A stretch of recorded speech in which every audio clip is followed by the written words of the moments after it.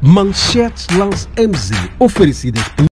Bro, baixa lá a aplicação e curta uma vibe nice em www.jogabets.co.mz porque aqui não falha nada. Registra-te e bate uma aposta na melhor app de apostas de Moz. Joga Bets é de Moz, não falha nada. O árbitro internacional moçambicano Arsênio Maringulo voltou a merecer confiança do Comitê de Arbitragem da Confederação Africana de Futebol, CAF, para integrar a equipa de juízes da final da Taça da Confederação Africana, também designada Taça Nelson Mandela, entre as equipas do USM da Argélia e Young Africans da Tanzânia. Com efeito, Maringulo vai ser segundo assistente da equipa de arbitragem chefiada por Beida Dohani, árbitro principal da Mauritânia, e contará com o angolano Gerson Emiliano dos Santos como primeiro assistente, enquanto que Mahmoud Ali do Sudão será o quarto árbitro. A partida terá lugar no dia 3 de junho no estádio 5 de julho em Argel.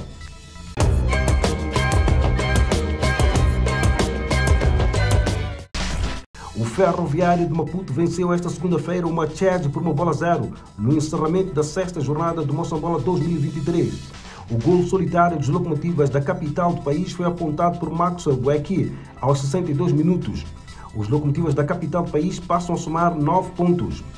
Na outra partida realizada ontem, o campeão nacional União Desportiva do Songo empatou a zero na deslocação à casa do Ferroviário de Lixinga, numa partida marcada pela chuva. O internacional moçambicano Telinho mantém a liderança da lista dos melhores marcadores do Moçambola 2023, com quatro golos, apesar de ter ficado em branco na sexta jornada. Ao todo, a última ronda do Campeonato Nacional foram apontados 10 golos, com destaque para os quatro na partida que terminou com a vitória do Ferroviário da Beira por três bolas a uma, na deslocação à casa do seu homónimo de Quilimani. Moçambola 2023 é no Canal Mania um canal exclusivo Star Times e TMT. Esta sexta-feira, às 15 horas, Associação Desportiva de Vilanculos, Ferroviário de Nacala. Sábado, às 15 horas, Ferroviário da Beira e Black Bulls. Domingo, 15 horas, Ferroviário de Maputo e Costa Sol. Recarregue a partir do pacote clássico ou smart e curta a maior festa do futebol nacional. Nosso futebol, nossa mania. Moçambique sagrou-se vencedor absoluto da segunda etapa do circuito de voleibol de praia da Confederação Africana de Voleibol ao nível da Zona 6.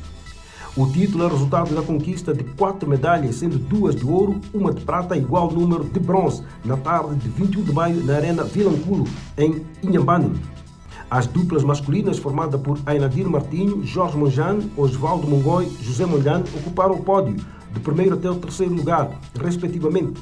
Outra dupla que mostrou a sua valência e conquistou a medalha de ouro foi a feminina Vanessa Muyanga Natália Intego, que chegou nesta fase final com moral em alta e confirmou o seu favoritismo. Nesta partida da final regional, venceu mais uma vez a dupla do Botswana por 2 a 1, com os parciais de 21-13, 22-24 e 15-11.